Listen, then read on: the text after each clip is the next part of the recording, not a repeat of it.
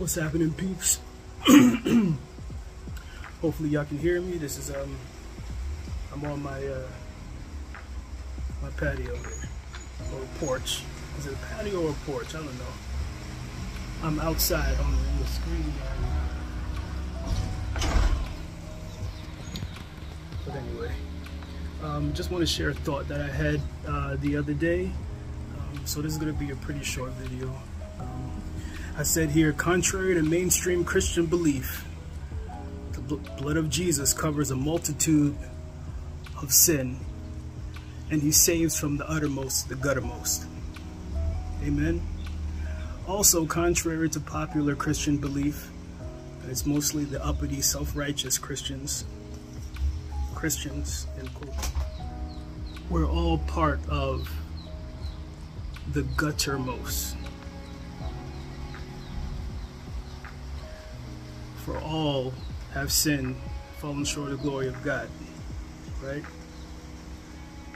The word also says that there's none righteous, there's none that's good. There's none that seeks after God. You know, we love the Lord because he first loved us, right? I don't think there was any one of us that was like actively looking for the Lord. Um, the Bible says, if I be lifted up, I'll draw all men. I'll draw all men. It's the Lord through the, the power of the Holy Spirit that drew us to him. And it was most likely because at some point we heard the, the word of truth, right? And that drew us in. We weren't seeking after him. So there's none righteous, there's none good, there's none that seek after God. Right? But the Bible also says we all like sheep have gone astray. We all like sheep have gone astray. We have turned everyone, everyone, to his own way. But listen to this the Lord hath laid on him the iniquity of us all. So all of us are just full of iniquities. But the Lord showed his love in that while we were yet sinners, Christ died for us, right? He laid down his life for us. He, he, he gave it willingly, free, freely. His life wasn't taken from him. He laid down his life for us. So,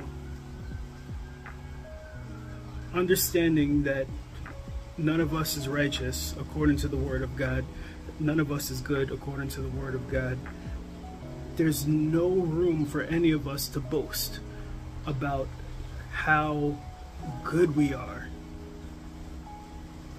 The, the, the simple fact that you can even make that claim shows the amount of pride that is within you.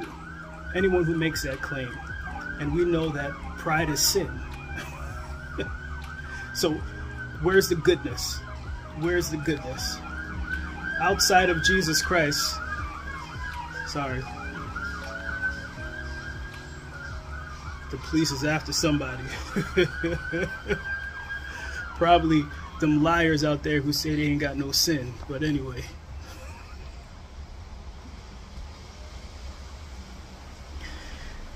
None of us can, can boast that we're that we're good about anything because none of us is good. Um, it's only because of Jesus Christ and what he did on the cross at Calvary that uh, we are, it's because of his goodness that we're good. It's because of his righteousness that we're righteous. It's because of his perfection that we are perfect. But it only comes in putting our faith and belief in him and what he did on the cross, right? Not our faith in him and our faith in ourselves because what are who are we? We're no one. Outside of Christ, we're nothing. Right? He's the true vine, and from that vine are the branches. right? We are connected to Him.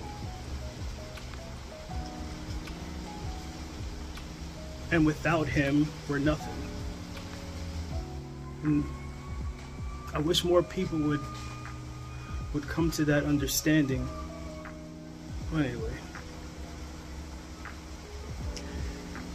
Just remember, guys, without Jesus Christ, we are nothing and will never be anything without Him. If you're not saved, it's real simple. Um, you just have to understand that you are a sinner in need of a Savior. We've all sinned and fallen short of the glory of God. Because we've all sinned, we're all deserving of hell and damnation, eternal separation from the Lord. But it's not God's desire that any should perish, but that all should come to repentance. What is repentance? Repentance is simply changing your mind. You know, changing your mind about what you believe. You don't believe in Christ, now you believe in Him, you've changed your mind, you've repented.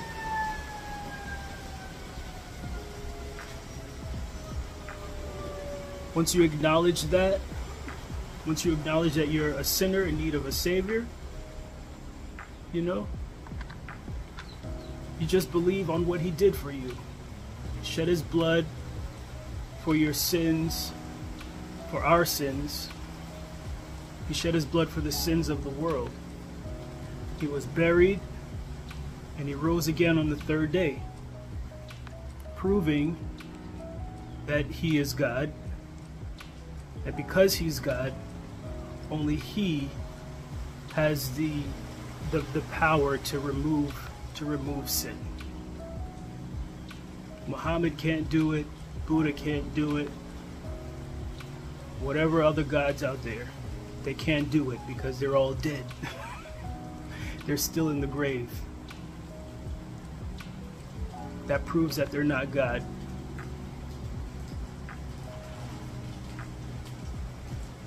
trust and believe in Jesus Christ today. It's so simple. Once you believe on Him and what He did on the cross, you are immediately filled with the Holy Spirit and sealed for all eternity. That means that once that happens, when you die, you'll go right to heaven and if you should happen to be alive when that uh, trumpet sounds, he'll just be caught up along with our deceased brothers and sisters, and we'll all meet the Lord in the air. But just know it's uh, because of the sacrifice of, of our Lord and Savior Jesus Christ. It's because of His sacrifice that we have become reconciled back to God. It's no sacrifice that we can make because what we do for the Lord pales in, in, in comparison to what He's already done for us. Right? It's by grace that we are saved through faith not of ourselves. It's a gift of God, not of works, lest any man should boast. Can't boast. Y'all stop that boasting. It's prideful. Humble yourselves. Humble yourselves. Humble yourself. Because pride goes before destruction and a haughty spirit before a fall. So, all you out there who talk about you know, once you get saved, you don't sin anymore. We do still sin. The flesh keeps on fleshing, even after salvation. Um, but thank God for the blood of Jesus. Thank God for his mercy and thank God for his grace. Um, I don't know about y'all, but I rather depend on the Lord's grace than than bet on my own ability to to uh, to be a good person. I'm just saying. go with the sure bet, G, uh, Jesus. the sure bet is Jesus. Stick with him and you can't go wrong. All right. I love y'all. Peace. God bless.